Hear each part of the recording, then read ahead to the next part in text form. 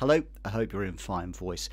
Reading a script is at the heart of any voiceover job. You've got to be able to do it, but sometimes you're faced with a script that looks difficult to read or it might be badly written. It may not be anything to do with with you. It's just the way that the client has or the copywriter has uh, written the script. So being able to put pauses and breaths uh, breathing is very important of course in voiceovers. Being able to put those in the right place is very important. So let's take a look at a script that's badly written and then we'll try and work out how we can improve it here we go. Here's the script, and it hasn't got much in the way of punctuation. If anything, I think there's a full stop at the end. That's about it, uh, and an apostrophe there.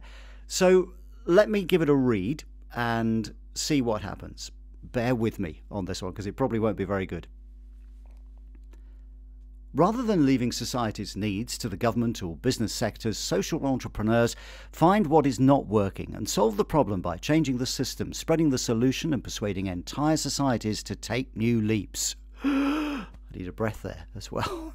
Uh, right, so uh, rubbish read by me. Now, what I've done is I've taken that script and just added some notations, and you can see here just in my case, I mean, you can do whatever you like on this, but I've added a, a little red slash. And that means I'm going to break the script up into sub phrases, which hopefully will help me. And I might want to take a breath or a pause or something there. So let me give this one a go, see if I can see if I can improve it.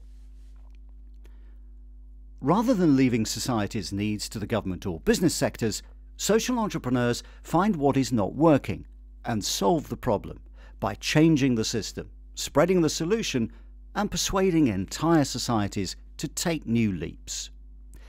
Well, my breathing was slightly better there, and I think the pauses worked. You might want to change the pauses slightly in your particular case to work for you, but I think that's a better a better read all round.